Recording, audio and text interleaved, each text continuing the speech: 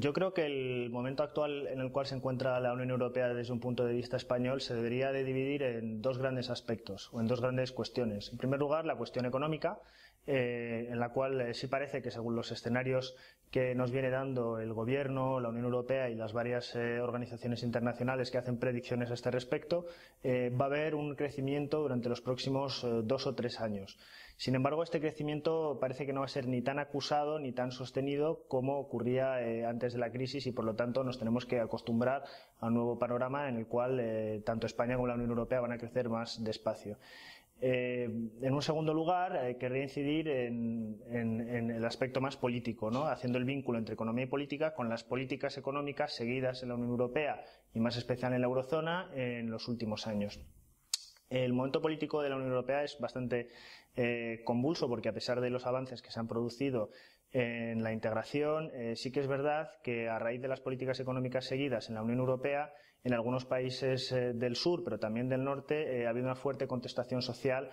por primera vez en la historia hacia el rumbo que ha tomado el proyecto europeo, al menos políticamente.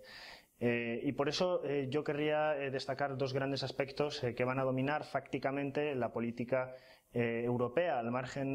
de los populismos que se pueden citar mucho o de otras corrientes más euroescépticas.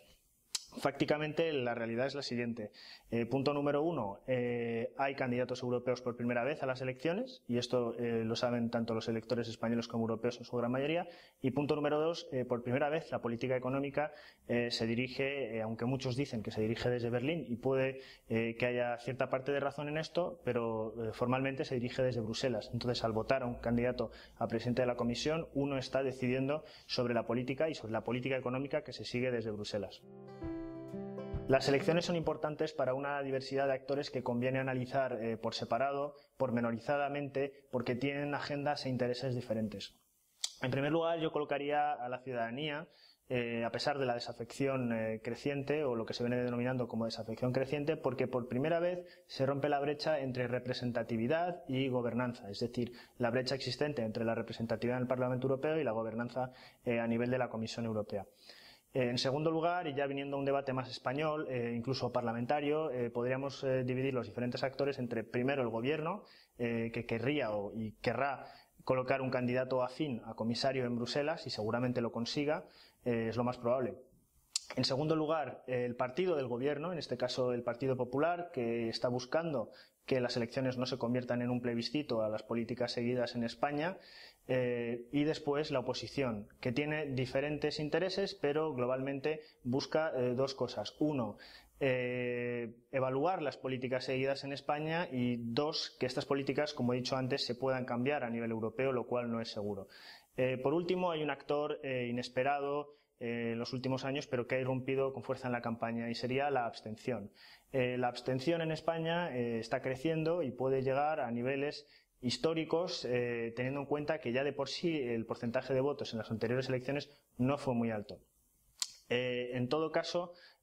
hay que ver cómo esto va a determinar o va a influir en el futuro del, del, proyecto europeo, porque no está muy claro que la abstención se deba a una creciente eh, oposición al proyecto europeo en sí, sino una desafección hacia las políticas económicas eh, o el rumbo seguido en los últimos años.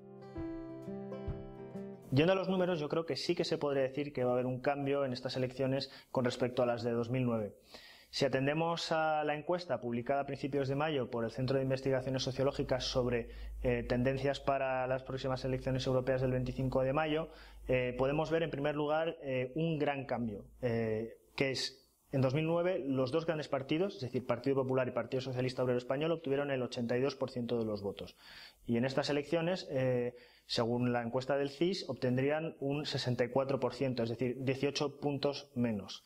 ¿A quién iría este caladero de votos? Bueno, pues hay una miríada de nuevas formaciones o de formaciones ya consolidadas, pero en crecimiento, que hay que atender y que seguramente eh, aporten un cambio en la política europea en España en los próximos años. Primero, Izquierda Unida y UPyD. Estos dos partidos ideológicamente eh, no comparten una base común, pero lo que sí que es cierto es que parecen ser los dos grandes beneficiados por la erosión del bipartidismo en España, sacando un 7% más o menos entre los dos de votos en las elecciones de 2009 y rozando entre el 14 y el 15% en las próximas elecciones el 25 de mayo.